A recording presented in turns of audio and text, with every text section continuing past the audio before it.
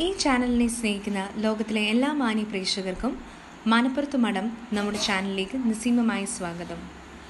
ഈ channel subscribe ചെയ്തിട്ടില്ലാത്തവർ ദയവായി subscribe ചെയ്യുക. കൂടുതൽ വിവരങ്ങൾക്കായി ബെല്ലൈക്കൺ അമർത്തുക. നമസ്കാരം. എല്ലാ മാന്യ പ്രേക്ഷകർക്കും എന്നെ ഇഷ്ടപ്പെടുന്നവർക്കും ഞാൻ ഇഷ്ടപ്പെടുന്നവർക്കും എന്നെ ഇഷ്ടപ്പെടാത്തവർക്കും ഏവർക്കും എന്റെ എളിയ ചാനലായ മനപ്പുറത്ത് ജ്യോതിഷം ചാനലിലേക്ക് നിസ്സീമമായ ഹാർദവുമായ സുസ്വാഗതി കണ്ടുകൊണ്ടിരിക്കുന്ന താങ്കൾക്കും. അപ്പോൾ ഇന്ന് പറയുന്ന ഓർമ്മശക്തിയുള്ള ആളിന്റെ ലക്ഷണങ്ങൾ ലക്ഷണശാസ്ത്രമാണ് കുറച്ച് ഇപ്പം പറഞ്ഞുകൊണ്ടേയിരിക്കുന്നത്.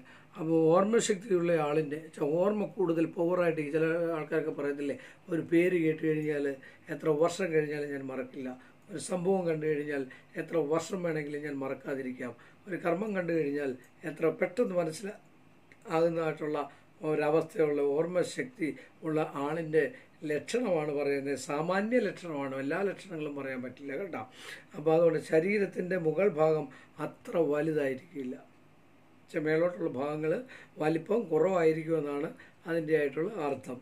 അതോടെ തലയുടെ പിൻഭാഗം പുറത്തേക്ക് ഉന്തി നിൽക്കും. തലയുടെ ഈ ഭാഗം പുറത്തേക്ക് ചെറുതായിട്ട് ഉന്തി നിൽക്കുന്നതാണ് ഓർമ്മശക്തി ഉള്ളവർക്ക് ഉള്ള ലക്ഷണമെന്നാണ് ലക്ഷണശാസ്ത്രത്തിൽ ആചാര്യൻ പറഞ്ഞിരിക്കുന്നതായിട്ടുള്ളത് അതുപോലെ തന്നെ ഏതൊരു ഏതൊരു കാര്യവും നമ്മൾ ശ്രദ്ധിച്ചും കണ്ടും മാത്രമേ ഓർമ്മശക്തി ഉള്ളവർ ചെയ്യുള്ളൂ. അതുപോലെ തന്നെ തലച്ചോറ് ശുഷ്കിച്ചിരിക്കും. അത് നമ്മൾ എന്തെങ്കിലും എക്സ്റേ പോലും എടുത്തെങ്കിൽ മാത്രമേ അറിയാൻ പറ്റത്തുള്ളൂ. ശുഷ്കിക്കുക എന്ന് പറഞ്ഞാൽ കുറഞ്ഞിരിക്കും എന്ന തലച്ചോറ് ചെറുതായിട്ടിരിക്കും ഓർമ്മശക്തി കൂടുതലുള്ള കാരണം വർക്കിംഗ് അല്ലേ? ഓർമ്മശക്തി എന്ന് പറഞ്ഞാൽ ഫീഡ് ചെയ്ത് വെച്ചിരിക്കുകയല്ലേ. ഒരാളെ കണ്ടു കഴിഞ്ഞാൽ പത്ത് വർഷം കണ്ടാൽ ഇന്ന ആളാന്ന് പറയുക എന്ന് പറയുന്നത്. ഇത് ഒരു ദിവസം കണ്ടിട്ട് രണ്ടാമത്തെ ദിവസം കണ്ടാൽ എനിക്ക് ആളിനെ തിരിയുന്നില്ല എനിക്ക് ആളിനെ തിരിച്ചറിയുന്ന പോലും ഇല്ല. അതുപോലെ തലച്ചോറ് ശുശ്രൂഷിക്കും. അതുപോലെ ചെവിക്ക് സാമാന്യം വലുതായിരിക്കും. ബുദ്ധിയുള്ള ആളും അതുപോലെ ഭാഗ്യവും ഉണ്ടാവുമെന്നാണ് ചെവി വലുതായിരുന്നാൽ പറയുന്നതെന്നാണ് ആചാര്യന്മാർ പറഞ്ഞിരിക്കുന്നത്. ഇതൊക്കെ ഉണ്ടെങ്കിൽ തന്നെയും അല്ലാത്ത ആൾക്കാർക്ക് ഇതൊക്കെ ഉണ്ടാവും. ഇതൊരു സാമാന്യത.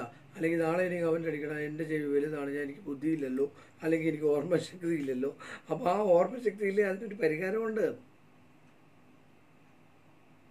ബ്രഹ്മീകൃതം നെയ് വാങ്ങി കഴിക്കുന്നത് ഏറ്റവും ഉത്തമമാണ് അത്യുത്വമാണ് കല്യാണകൃതം നെയ് കഴിക്കുന്നത് ഏറ്റവും അത്യുത്വമാണ് സാരസ്വത അരിഷ്ടം കഴിക്കുന്ന ഏറ്റവും ഏറ്റവും അത്യുത്തമായിട്ടുള്ളതാണ് സാരസ്വത അരിഷ്ടം. ഓർമ്മശക്തി ഒരു നാൽപ്പത് വയസ്സ് നാൽപ്പത്തഞ്ച് വയസ്സൊക്കെ കഴിയുമ്പോൾ ചില ആൾക്കാർക്കൊക്കെ പേന ഇവിടെ വെച്ച് പൈസ ഇവിടെ വെച്ച് പേഴ്സ് ഇവിടെ വെച്ച് ഇതൊന്നും അറിയത്തില്ലായിരിക്കും.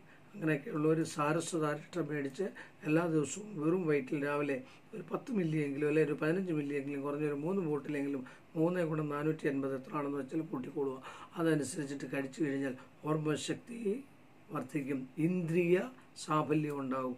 ഇന്ദ്രിയങ്ങൾക്ക് വളർച്ച ഉണ്ടാകും. അത് പ്രവർത്തിക്കും നന്നായിട്ടെന്നാണ് ആചാര്യമതം പറയുന്നത്. പ്രവർത്തി പ്രവർത്തിച്ചിരിക്കും. സംശയമില്ലാത്ത കാര്യമാണ്. അതാണ് സാരസ്വരാഷ്ട്രം അത്ര ഇതാണ് അതുപോലെ സാരസ്വതകൃതം നെയ്യ് കൊച്ചുകുട്ടികൾക്ക് ഏറ്റവും നല്ലതാണ്. സാരസ്വതകൃതം നെയ്യ് ഗരുഡപഞ്ചാക്ഷരി മന്ത്രം കൊണ്ടോ ദൃഷ്ടിപ്പ് കൊണ്ടോ ഏത് രീതിയിലാണ് വേണ്ടിയെന്ന് വെച്ചാൽ അതനുസരിച്ചിട്ട് പിന്നെ ചെയ്തു കഴിഞ്ഞാൽ ചെയ്ത് ചെയ്ത് കഴിഞ്ഞാൽ അതും നല്ല ഓർമ്മശക്തിയും ബുദ്ധിശക്തിയും ജീവിതകാലം മൊത്തവും നിലനിൽക്കുക എന്നാണ് പറയുന്നത്.